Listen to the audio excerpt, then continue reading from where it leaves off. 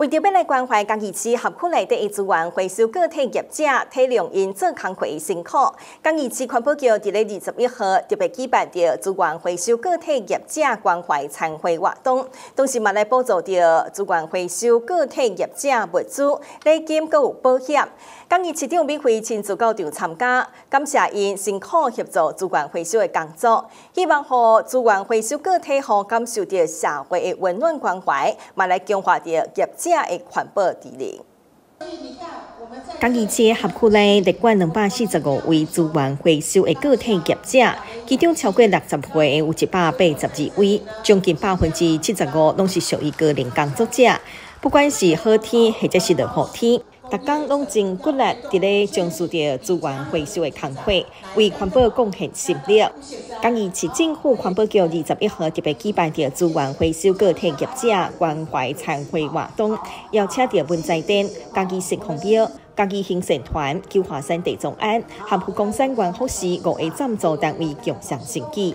因为有一群啊很认真、很努力，在落实做资源回收的个体户。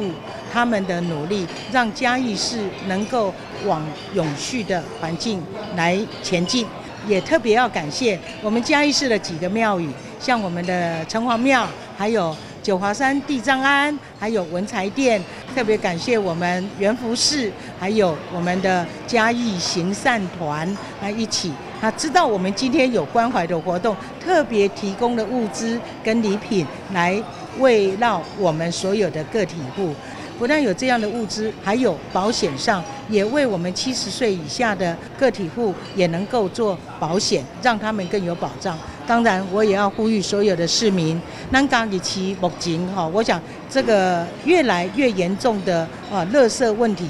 会是每一个县市，也是我们国家社会的问题，所以我要呼吁大家爱护我们的未来，我们一起来让垃圾减量，尽量能够回收就回收。那我们一起减少垃圾的一个啊这个量呢，可以让我们的城市才能够永续发展。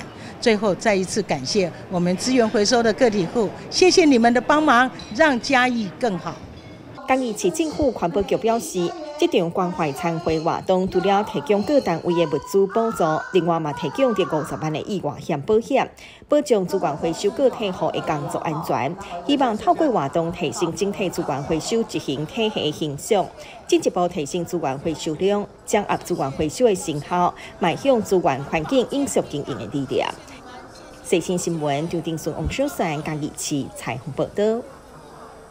你好，我是卫生局的防疫人员。好啊，今麦登革热做危险的时阵，高峰期啊，咱要预防登革热，配包的四个口诀：寻道清刷。寻道清刷。对，经常去寻一下，看我们如果出去院子运动，就去看。有没有多余的积水容器？哈，寻寻看，如果有的话，就把它倒水，因为有一点点水，蚊子就会在里面下蛋哦。哈，减少那个积水容器。哈，没必要的汤啊，咱尽量来印掉。哈，啊，盖恁刷洗，如果咱有积水的汤啊，咱来给刷洗一下，不要让那个虫卵附着在那个桶壁，遇到水就爆发来。好，啊，咱大家身体较健康的。好。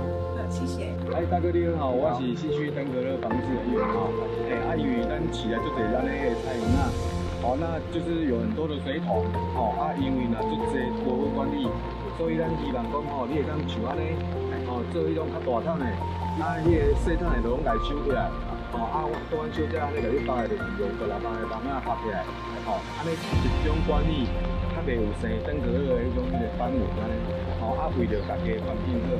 应该是没问题，感谢你，感谢你。各位乡亲，大家好。登革热是由斑纹传播的疾病，传播的速度会很快，请大家要特别注重环境的清洁。如果有废轮胎的地方要清除，否则应该打洞，避免积水。敏慧在这里，拜托各位乡亲一起动手清理家园，最好每天落实循道清刷，共同创造干净的家园。登革热的房子，大家一起来。是登革热，一定。